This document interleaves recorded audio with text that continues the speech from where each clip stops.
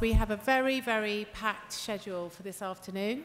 Um, we've got some great speakers for you and some great panels. Um, I hope you enjoyed lunch. I hope you got to ask lots of questions. Um, and I think you'll be asking even more questions uh, after this afternoon, which is a mixture of experience and inspiration. I think that's how I would summarize the speakers this afternoon. Um, so I'm now going to introduce our first keynote speaker. Um, and her keynote is called Vision, Inspiration and Longevity, What Being a European Capital of Culture Did for Us. So this is from Claire McColgan, who is head of Liverpool Culture Department in the European Capital of Culture. And Claire is going to present the Liverpool story from bidding through to now. In song. That's not my theme tune. Um, oh, here it goes again. I'm not going to salsa no matter how times you play it. Right. Liverpool, let's go back to Liverpool. I was born in Birkenhead, so Liverpool's very important to me. Liverpool is recognised as not only as a, an exemplar in cultural regeneration, but also a city that has created a true and lasting legacy from a major event transforming its fortunes and its place. And if any of you have gone back to Liverpool, I mean, I remember Liverpool as a child. And when I go back now, it has changed beyond any recognition. And I think that's uh, a large, large part because of culture and in a large, large part because of Claire. So welcome to the stage.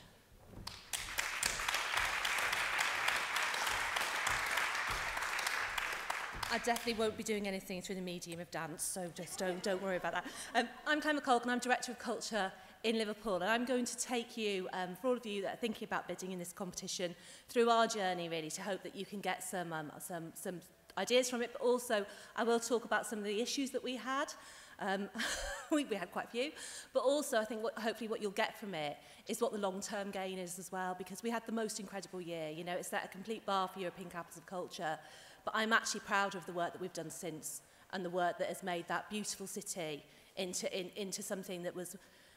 that probably wasn't quite that when, when, when we first started this process. So I'm going to take you through the process um, and I'm going to try and keep to time, but um, I can talk, so you're going to stop me, aren't you, after five minutes? So I'm starting with that picture. It's what Liverpool is very famous for. Um, it's taken as, um, and it's part of its historical fabric, but it's also um, very interesting, and I'll refer back to it at the end. Um, it's much more, it's, it's about, it's also it's about its contemporary future.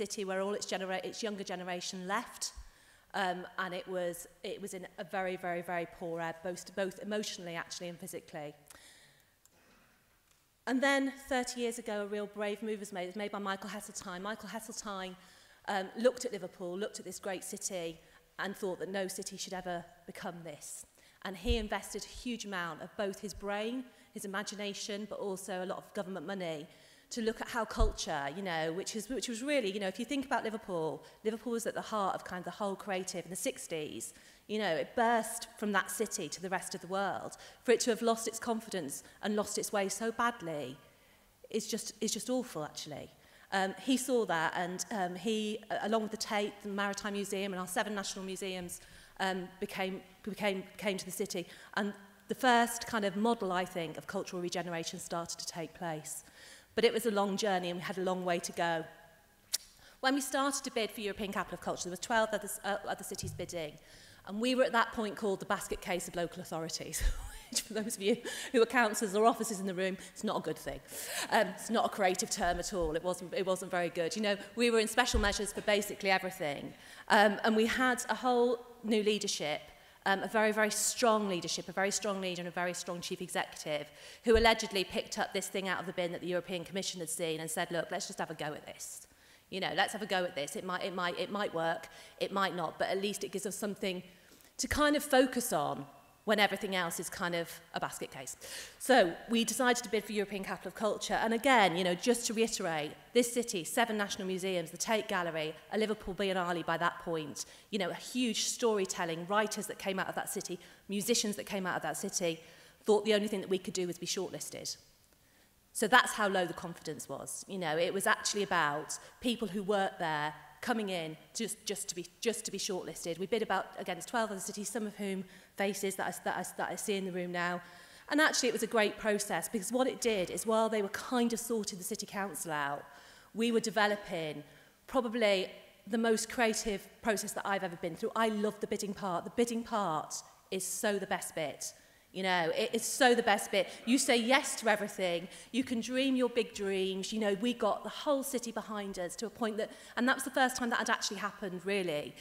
that cities got completely behind a bidding process. It's done, it's done, it's done all the time now, and it's right to do that.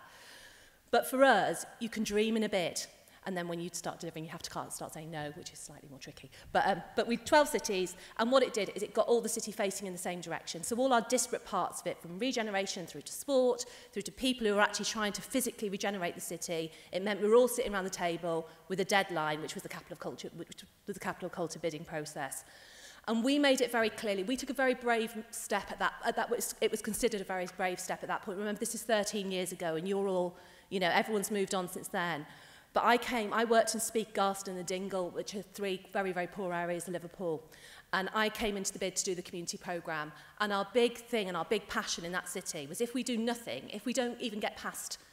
you know, the, the, the, the kind of shortlisting stage will have changed the way that arts organisations work with communities.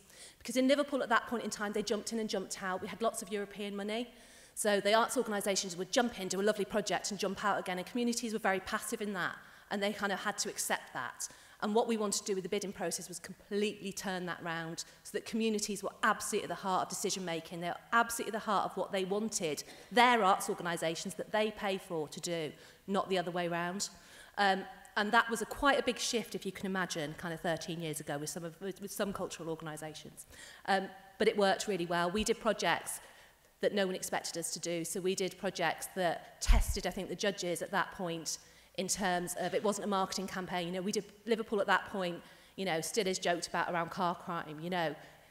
It was an issue for us at that point in time, you know, let's be honest, you know, uh, Liverpool was not, you know, the city that, that it is now, but we did projects with young people around car crime and took the judges out to see them. We tackled some of the really hardest issues in our city using the capital of culture bid process. And if I was to say anything to you,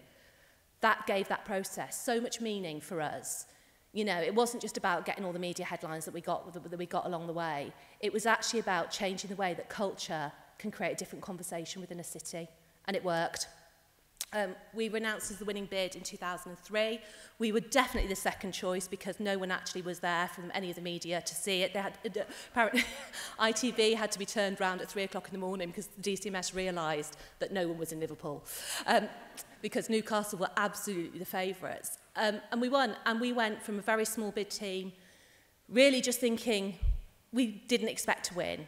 You know, Liverpool had not had the best reputation in the national media at that particular point, as you'll all be aware. We, our confidence was low. So when we won, it felt for the first time that the people of the city had won something for themselves. That was, and that is still a moment for me that still makes me fill up, actually, because for a city that has been so you know, battered for so long, to win something like a European Capital of Culture was just absolutely the turning point. And if you get into a taxi in Liverpool now, you go anywhere in Liverpool now, they mark that moment as their turning point. You know, taxi drivers, anyone, European Capital of Culture turned this city around. Brilliant. Um, but yeah, we didn't quite know what to do then. So, so we won the bid and then we did what is usual in these things. You know, you fly lots of people in, you do lots of, you know, big head, head hunting kind of opportunities and lots of things went wrong for us on the journey, and I won't go too much into those because actually they're part of the story, and maybe we wouldn't, we wouldn't have had such a brilliant year if we hadn't have gone through the ups and downs. But I will say to you, especially for those of you who are politicians in the room,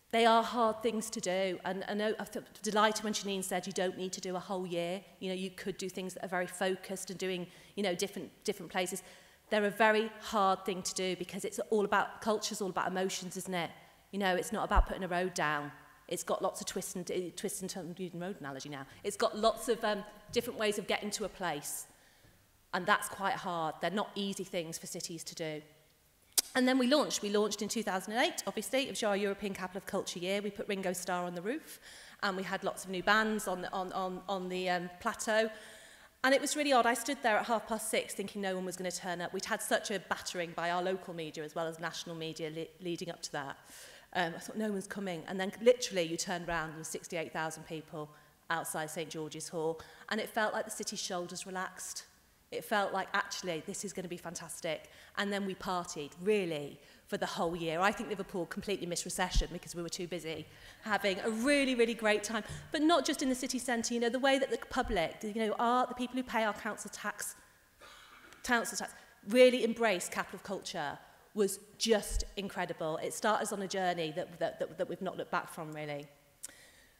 And so from that year, that brilliant year, you know, we move on. And a big thing that we didn't do during the year, and I would absolutely say to any of you that are going to bid for this, is really think about legacy and what legacy means. And think about kind of how you want your city to be. Not in 2019 or 2020 when the first when you, when you kind of win that prize, but actually the next 10 years, and use that as a starting point to jump off from, not the finish point to say, ta-da, here we are.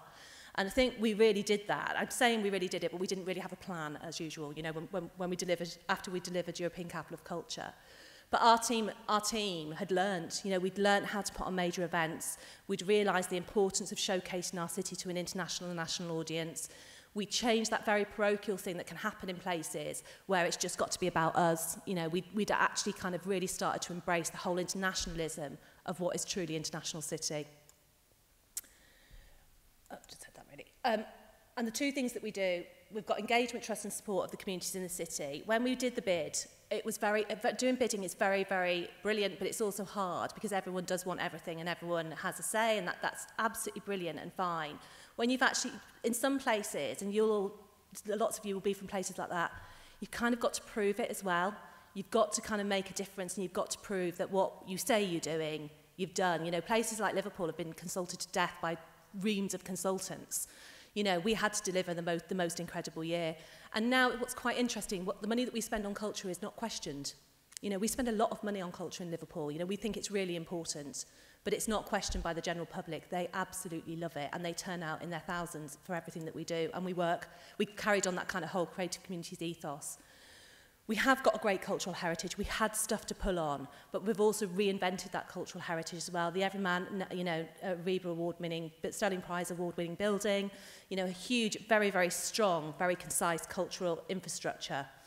And then on top of that, which is really the bit that kind of I, I uh, clicked with me during the whole process is the community stuff you've got to have that core of community stuff you've got to kind of support your cultural sector but then you've also got to have those big ideas that really really kind of pierce through the kind of international psyche and kind of tell people where you are when they did this in Southampton there was about 20 people they didn't have a very good day in fairness on the um, on the waterfront when the three queens left in Liverpool a million people turned up we did a whole cultural program around it It was three ships coming down a river, but the atmosphere, you know, and that kind of sense of get, coming together around an absolute collegiate moment of conversation is just exactly what it's all about. When we do these big events in Liverpool, I'll come back to that one actually.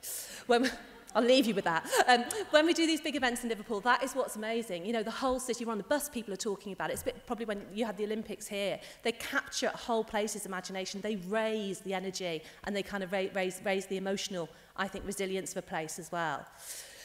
And what do you need? I've got this. You can spot the politicians in this one and spot the artist. I'll leave that with you.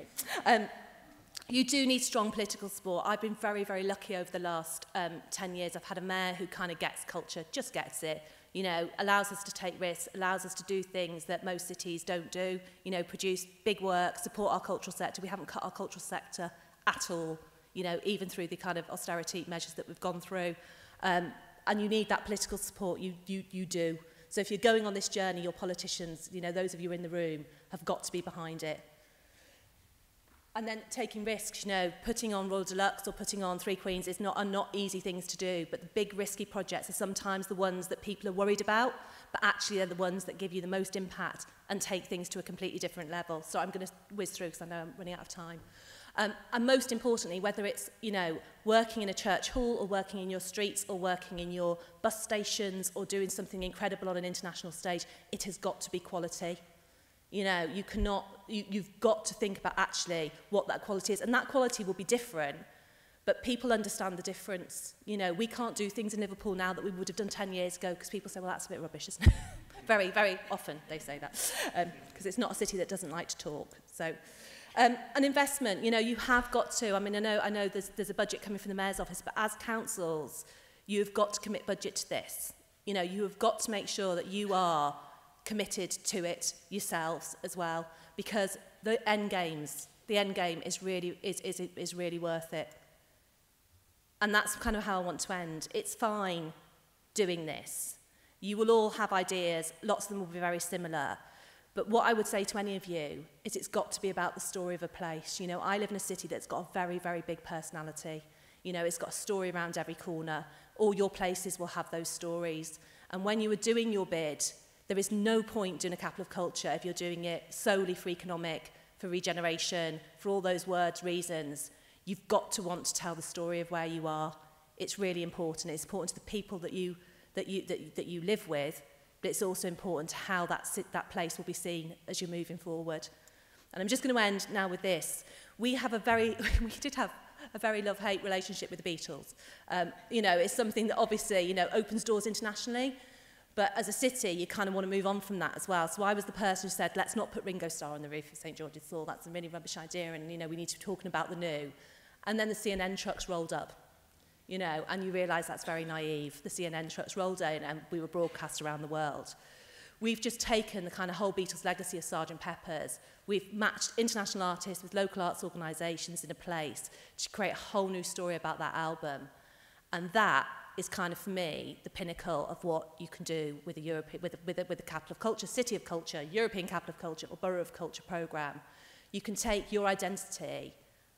turn it round corners, and open it up for a whole new generation.